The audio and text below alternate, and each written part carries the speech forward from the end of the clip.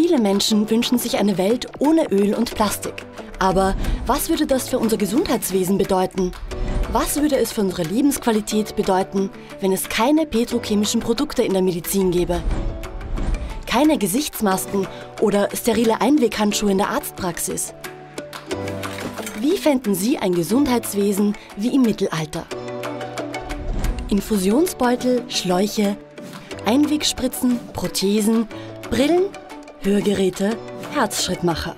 Heute gibt es kaum einen Bereich in der Medizin, der ohne petrochemische Produkte auskommt. Kunststoffe erleichtern die Arbeit in der Medizin, senken die Allergiegefahr und bieten ein hohes Maß an Sicherheit für uns alle, wenn wir ärztliche Hilfe brauchen. Unser Gesundheitssystem hat sich in den letzten 150 Jahren unglaublich verbessert.